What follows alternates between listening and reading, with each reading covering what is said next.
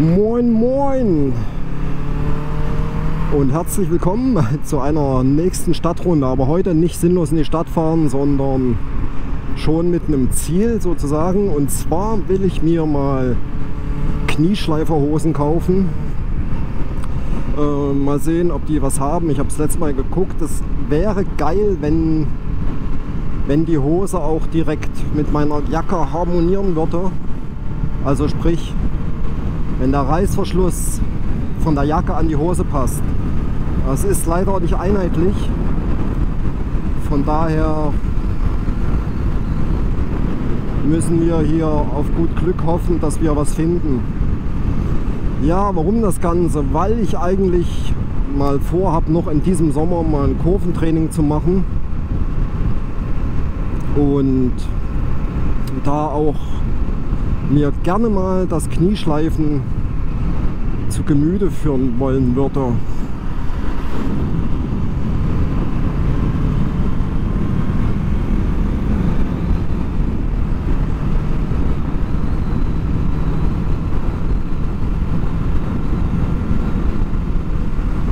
Ja, Wetter passt heute.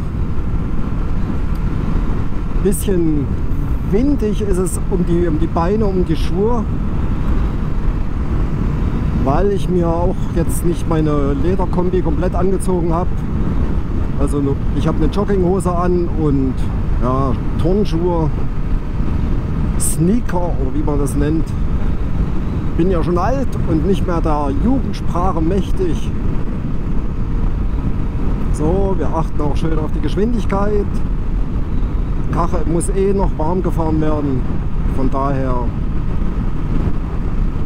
will ich das arme Baby jetzt auch nicht überstrapazieren.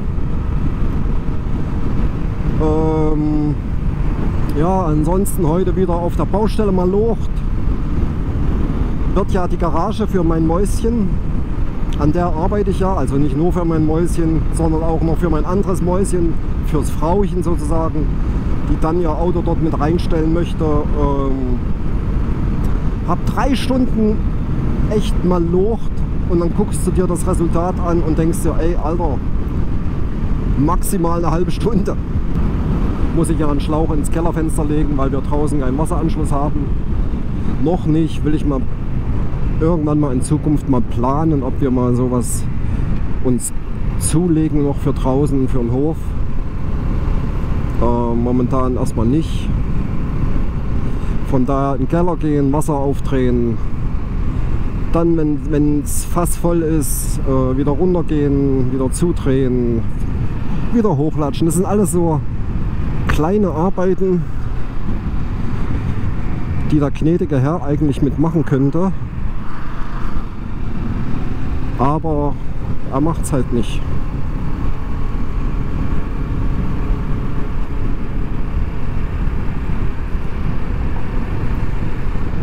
Ach du Scheiße, was ist denn da schon wieder passiert? Ach, hm. voll auf die Kante hochgefahren, Alter. Wie geht denn sowas? Ich meine, ich will es gar nicht wissen. Ich will es auch gar nicht probieren. Ich habe hier unten, hier unten stand schon mal einer. Der war voll, ich weiß nicht, wie der das geschafft hat. Keine Ahnung, da stand die halbe Karre auf dem Fußweg oben. Und das ist ein, ein Absatz von 20, 20 Zentimeter locker. Ja, heute ist schon ein bisschen mehr los in der Stadt, ist auch unter der Woche, es ist Mittwoch. Wir haben es 15.33 Uhr. Einige werden jetzt auch schon von der Arbeit nach Hause fahren. So, jetzt zu Luis. Luis, mein Bester. Ich will Knieschleiferhosen. Hoffentlich habt ihr was Geiles im Angebot. Ich will mir eigentlich nicht noch eine Jacke dazu kaufen oder so. Oder so ein Ganzkörperkonturm. Will ich eigentlich auch nicht. Bin schon ein paar Mal mit den Schuhen gefahren, da unten, die sind auch kaputt. durchs, durchs Schalten irgendwie, glaube ich. Was ist das hier? Tatortreinigung. Einsatzfahrzeug, Junge.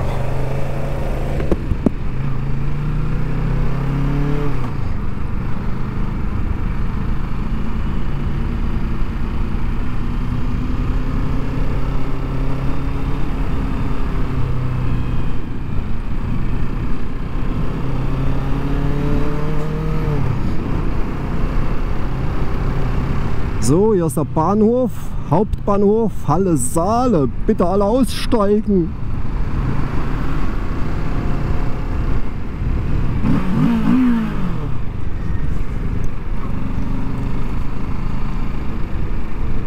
Haha, die Kitty ist geil.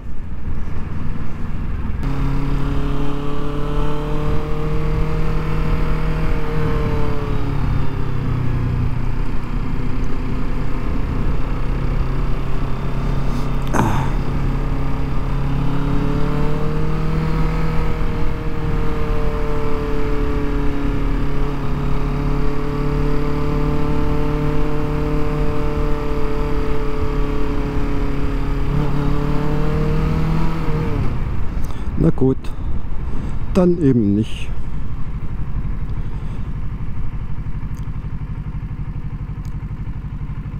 Die Ampel halt, hat uns gelockt mit einer grünlichen Farbe, um uns dann jämmerlichst zu verarschen.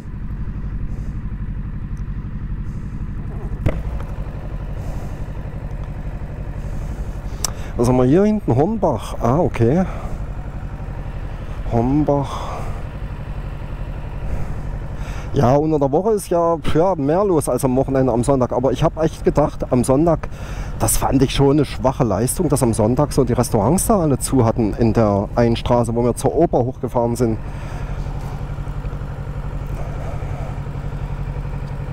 Gerade am Sonntag, wenn die Leute mal irgendwie Bock haben zu flanieren, aber scheinbar hatten sie auch keinen Bock, weil war ja keiner draußen. Die drei, vier Leute, die wir gesehen haben, So, gleich sind wir bei Luis Tränker. Kaufen uns Bergsteigerausrüstung.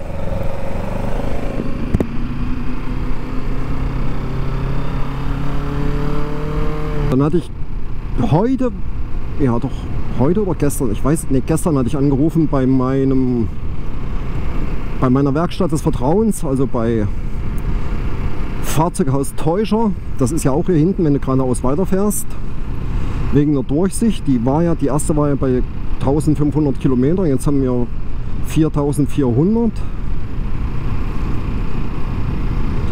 Und aber er meinte, nö, bei 12.000 ist dann die nächste. Okay, 12.000 können wir noch ein bisschen fahren. Hätte ich jetzt ehrlich gesagt nicht gedacht, dass das noch, ja, dass das so lange dauert. Ich hatte schon ein schlechtes Gewissen. Ich dachte mir vielleicht, ja, 1500, dann vielleicht die nächste bei 3000 oder so.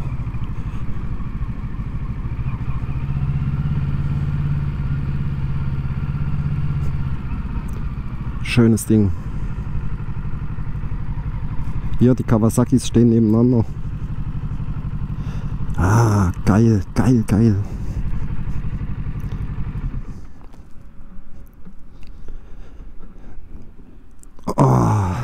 Schön. Gefällt mir auch von der Farbe her alles.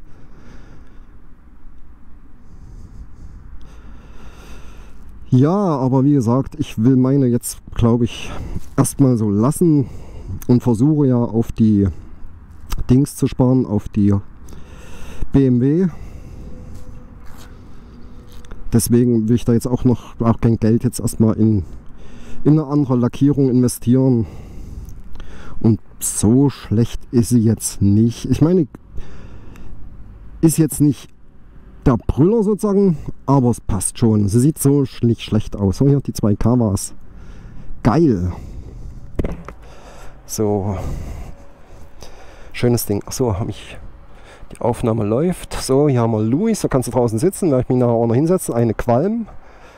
So, und ah, ich habe auch schon eine Idee, wenn ich von Louis wieder raus bin, dann werde ich mir erstmal eine schöne Pizza können. Ich wollte eigentlich äh, zum, zum Don't Worry Be Curry, aber nee, hier die Straße zurück ist eine wunderbare geile Pizza.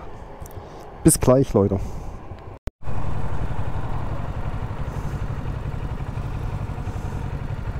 Fährst du auf die. Wo fährst du lang?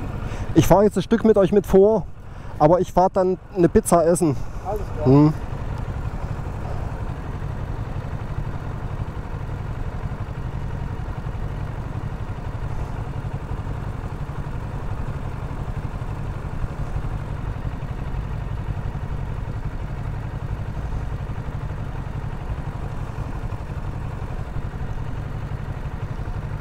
Eine Stunde später.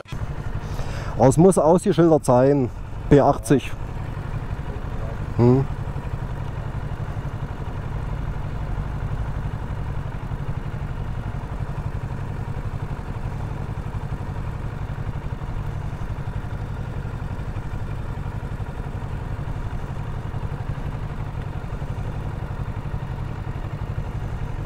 Zwei Stunden später. Vielleicht muss man da auf dieses Bitte? Vielleicht muss einer da oben Signal. Ja, ich weiß es auch nicht. Da stand letztens auch einer mit dem Bike, da ging es trotzdem nicht.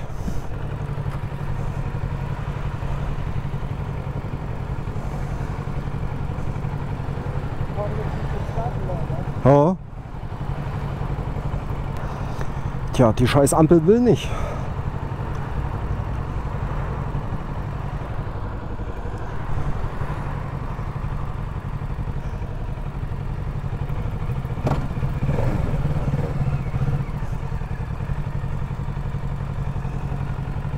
Zweitausend Jahre später.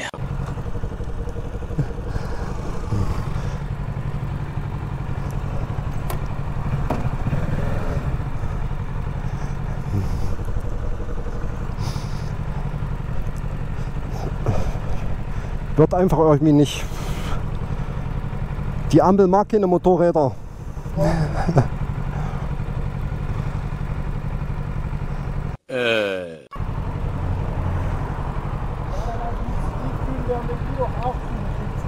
Đó.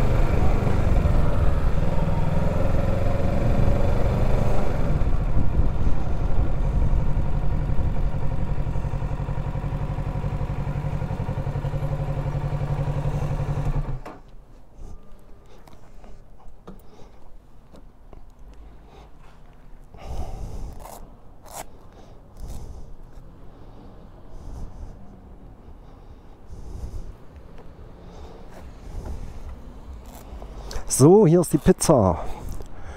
Freddy Fresh Pizza. Geil. Ich liebe die.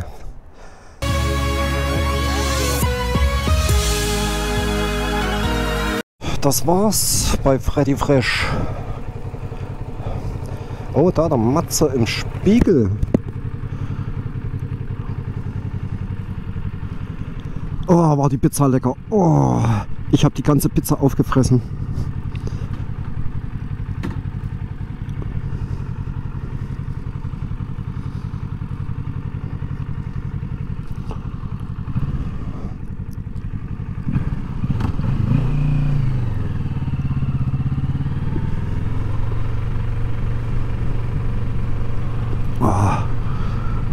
Oh, jetzt bin ich voll wie eine Sau. Ich platze aus allen Nähten, aber war super lecker. Oh, so echt geilste Pizza ever.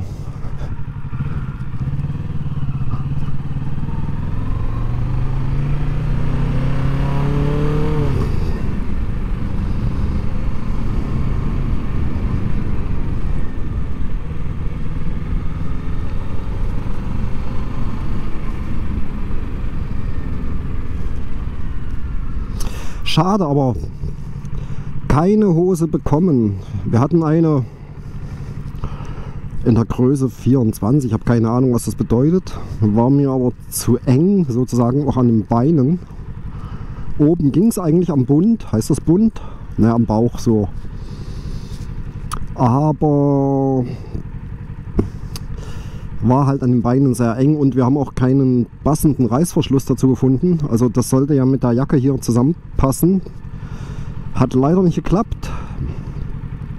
Ähm, was war das? Vanucci, glaube ich. Vanucci ist inkompatibel zu Büser. So, dann hatten wir, hat er noch eine Hose mit Jacke gefunden. Aber die Hose 79 Euro und die Jacke glaube ich so knapp 80. Also es war Abverkauf von dem. Und da war aber die Hose von, an, von den Beinen her super. War nicht zu eng, war nicht zu weit, also saß genau richtig. Aber oben am Bauch, ey, da hätte ich mir meine 80 Kilo hätte ich ja doch noch behalten dürfen müssen. Keine Ahnung. Jedenfalls war das, da hätte ich fast zweimal reingepasst. Naja, übertrieben gesagt.